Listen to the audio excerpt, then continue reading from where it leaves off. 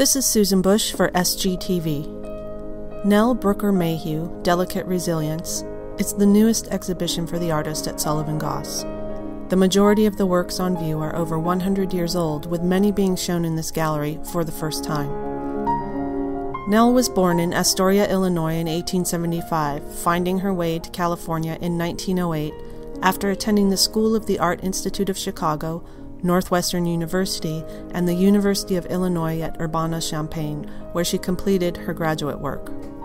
In Los Angeles, she joined an active artists' world, showing and creating works alongside such prominent male artists as William Wendt, Edgar Payne, and Hanson Puthuff, among others.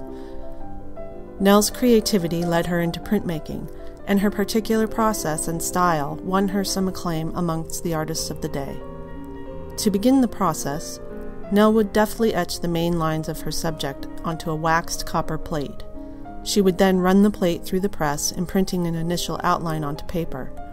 Using the same plate, she would paint directly upon it and then run it through the press again, adding color to the previously printed outline.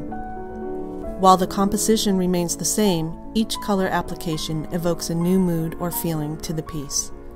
Rather than exact reproductions of the same image, each piece is unique, a true painting on paper. The translucency of color within the lines is less about showing an exactly replicated image and more about the impression of a place, the suggestion of memory, of something beautiful and dreamlike. Her sister Adelaide would assist Nell in her artwork by hand making the paper for her prints. Some of the paper is as light as gossamer. It must have been like printing on a butterfly wing. Once framed, the paper seemingly floats beneath the glass.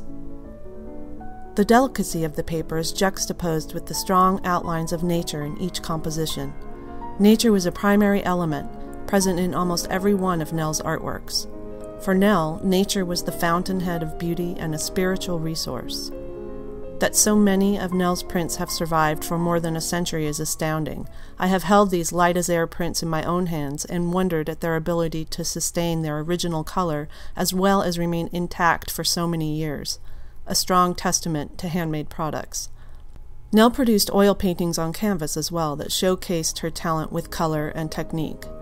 The very personal expression that shows up in her works on paper is visible in the oils as well.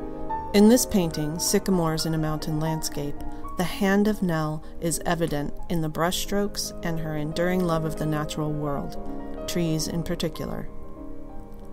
A petite woman standing at just about five feet tall, Nell was a resilient woman. She survived the passing of a beloved husband and a divorce that left her the single mother of two children to care for during the Great Depression. Through all of her life's challenges, she made art, taking her cue from the trees around her that stood tall, even after being subjected to what Mother Nature brought their way.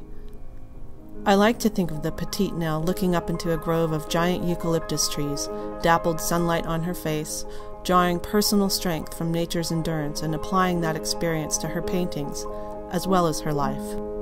Make fine art part of your life. Nell Brooker Mayhew Delicate Resilience will be on display through November 27, 2011.